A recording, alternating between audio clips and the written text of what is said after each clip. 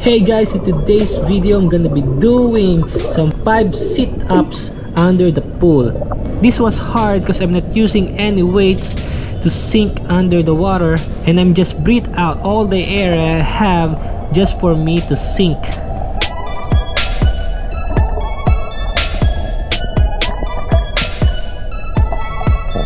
And I hope guys you enjoy this video. Thank you for watching and God bless.